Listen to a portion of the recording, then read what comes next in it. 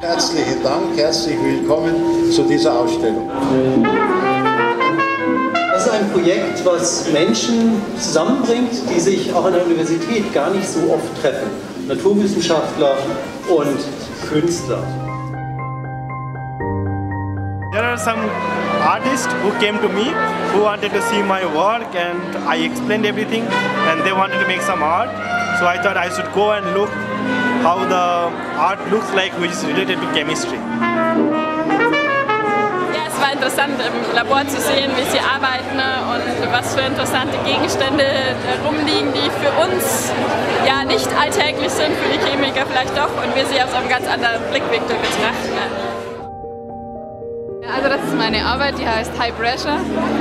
Ähm, äh, die soll zeigen, dass die Chemie ein äh, Dschungel ist aus unterschiedlichen Reaktionen, die man selbst eigentlich als Laie nicht versteht und nur wenn man eben eingearbeitet ist oder sich mit den äh, ähm, einzelnen Stoffen beschäftigt, kennt man sich besser aus. This picture was taken in my lab from this photographer, Margarita. We took the picture because we could just play with all the chemicals and try to make some funny colored solutions.